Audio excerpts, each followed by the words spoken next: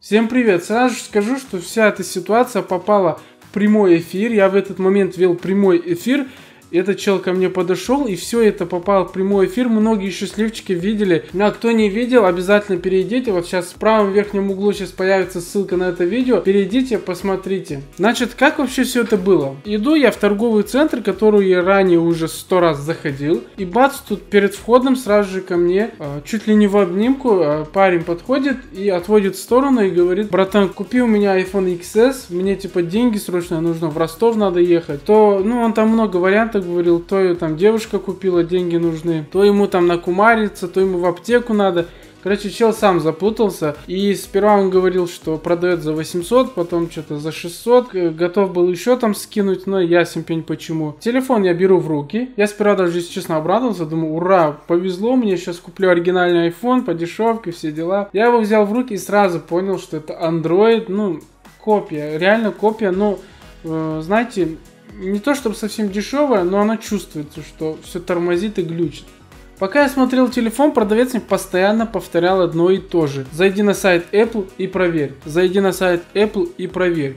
Я ранее слышал про то, что китайцы умудрились сделать так, что на сайте Apple телефон реально пробивается. Сто процентов не знаю, но это э, ясный пень, что они взяли email с оригинального телефона, который действительно был продан. Собственно, вот так вот вся схема работает. Я все-таки зашел на сайт и проверил, да, действительно там показывается, что телефон был два месяца и действительно куплен у Apple и что он там на гарантии мировой. То есть если бы я был лохом, я бы реально повелся. Но меня-то интересует другое. Ребят, запомните, можно проверять iPhone часами. Но есть один способ, который никогда китайцы не смогут скопировать. Это Apple Store. То есть, когда вам предлагают iPhone, просто подключите интернет, зайдите на Apple Store, то есть магазин Apple, и попробуйте там что-то скачать. То есть, если он зайдет, если введете свою клауд, там все хорошо, значит действительно телефон оригинал. Если вы зайдете там Play Market, значит телефон копия. Все просто. Парень этот был кавказской внешности, и как позже выяснилось, это походу были цыгане. Ну, о чем они думают, я не знаю, потому что вряд ли кто-то носит с собой такие большие суммы. А, скорее всего, они предлагают такую цену, потом а, ты говоришь, допустим, у меня с собой 100 долларов, они такие, о, окей, ладно, там, я тебе 700 скидываю, давай за 100 покупай.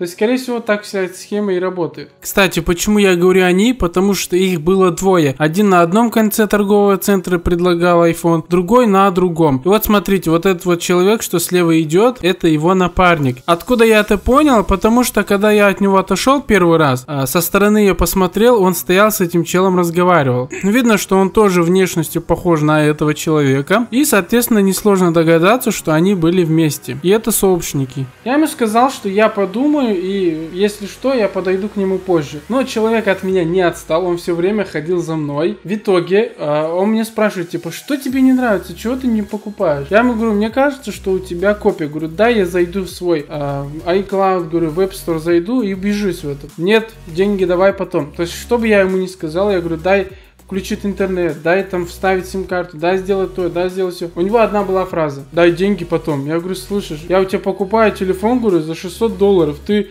Хочешь, чтобы я его закрытыми глазами покупал? Ой, брат, а если ты зайдешь в свой iCloud, потом пароль забудешь? Я говорю, что ты несешь, говорю. Я говорю, если тебе не нравится, тогда до свидания, короче. Ну, он пытался меня чуть-чуть поуламывать еще. В итоге я ему говорю, ладно, пойдем, говорю, в салон связи. Я хотел ему доказать, ну и показать, чтобы он так, знаете, а, как сказать, обложить его конкретно, когда я возьму оригинал и возьму его копию и покажу ему разницу. Он такой согласился, на мое удивление. Мы нашли салон связи. Алло, я захожу, говорю, девушка, девушку, вот я вижу, у вас есть iPhone, и говорю, ну достаньте нам XS. Она достает, я говорю, ну можно распечатать? Ой, вы знаете, у нас нельзя распечатывать. Распечатать можно лишь в том случае, если вы будете покупать. Я говорю, стоп, говорю, я пришел к вам в салон, хочу посмотреть телефон. Может, мне он не понравится, говорю. Ну, у нас такие, говорит, законы. Думаю, ладно, черт с тобой. Я говорю, вы можете проверить как-то на его на оригинальность? Она позвонила там какому-то парню, тот такой, да, зайди на сайт Apple, и там будет написано, оригинал он или нет. Я говорю, я заходил, я проверял, он там как бы пишется, что типа оригинал действительно.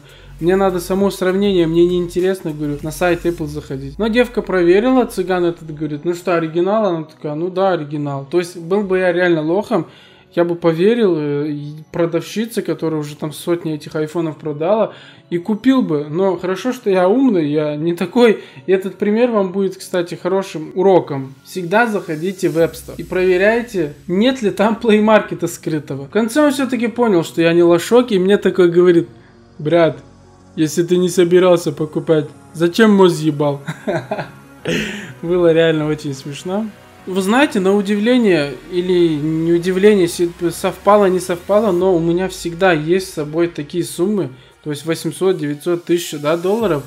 У меня всегда есть такая сумма с собой. Ну, бывает, там, мало ли, вот действительно, как этот случай, купить телефон там и так далее. Но я думаю, что 90% не носят такие суммы. Поэтому в комментариях напишите, какую сумму с собой носите вы. Будет очень интересно узнать. Возможно, то, что вы не носите с собой большие суммы, вас и обережет от того, что вы не купите поддельный какой-то товар. Ну а на этом у меня все, ребят. Спасибо всем за просмотр. Надеюсь, вам было полезно это видео. И вы сделаете для себя какие-то выводы. Ставьте лайк, подписывайтесь на канал. Всем пока, до скорых встреч.